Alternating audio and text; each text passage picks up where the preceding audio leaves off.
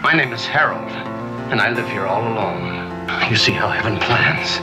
Me, a poor blind man, and you, you, a, a mute. And it's frozen, my child. How does a nice bowl of soup sound to you, huh? Mm.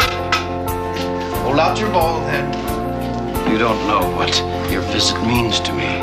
How long I've waited for the pleasure of another human being. Mm. We tend to forget the simple pleasures. Mm. The basis for true happiness. But yes, yes, yes. Oh. Now, now, now for a little surprise. For a special occasion I've been saving.